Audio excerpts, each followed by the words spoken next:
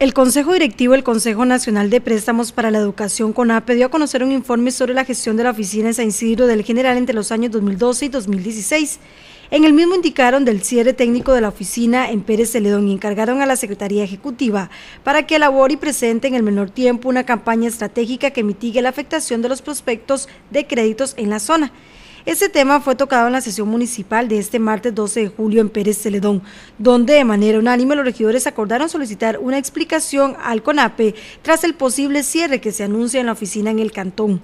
El alcalde Jeffrey Montoya dijo que hace años se instalaron aquí y que ya se otorgaron millones de colones en créditos y ahora sí se pretende dar un cierre perjudicando a cientos de estudiantes.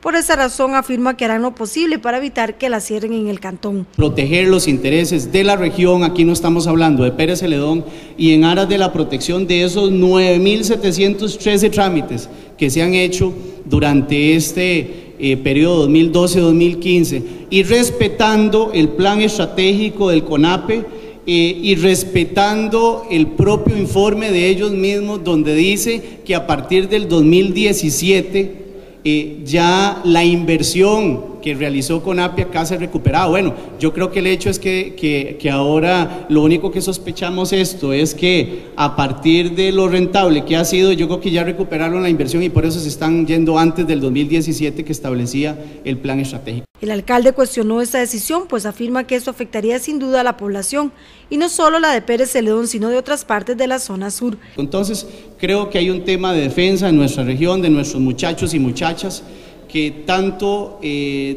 de, que de tanto beneficio ha sido esta eh, organización acá en el cantón de Pérez Celedón y que ha servido para toda la región. Así que eh, la motivación de esta moción va en ese sentido y pues felicitar el trabajo hecho por doña Magda y el día de hoy pude escuchar algunos testimonios de muchachos y muchachas del cantón y de la región que se han visto beneficiados eh, con CONAP. El regidor del Partido Restauración Nacional, Rafael Herrera, lo secundó, diciendo que ojalá el alcalde se haga presente en la institución. Relación constante con los jóvenes que quieren seguir superándose.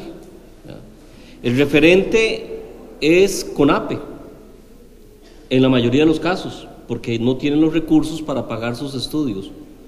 Y uno no logra comprender eh, las razones a pesar de que existe un informe que no es totalmente claro.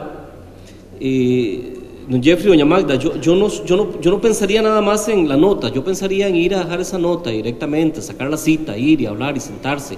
Vean, señores, explíquenos, para que le vean eh, eh, el rango de importancia que no solamente con el acuerdo municipal, sino que vamos personalmente. Asimismo dijo que si antes la situación financiera para estudiar era difícil, ahora será más, pues no todos pueden trasladarse hasta San José a hacer el trámite. Y ahora, eh, si antes eh, de que estuvieran aquí costaba de Pérez Celedón ir hasta San José, eh, ahora también los del sur.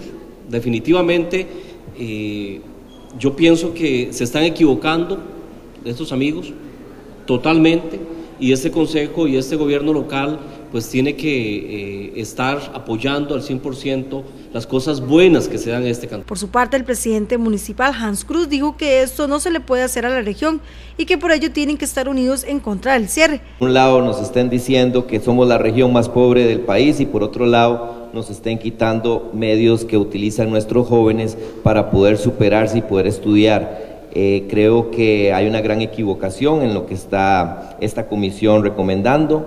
Creo que es una, una decisión que se tomó no en este cantón ni en esta región, creo que se tomó desde un escritorio muy largo de aquí y nosotros tenemos que dar la lucha por los jóvenes de este cantón y de esta región, porque realmente no están siendo afectados solo los jóvenes de, de Pérez Celedón, es toda la región completa. Sobre este tema, en SN Sus Noticias hicimos la consulta al Departamento de Mercadeo de CONAPE, donde nos indicaron vía electrónica que en los próximos días se estarían refiriendo a este tema.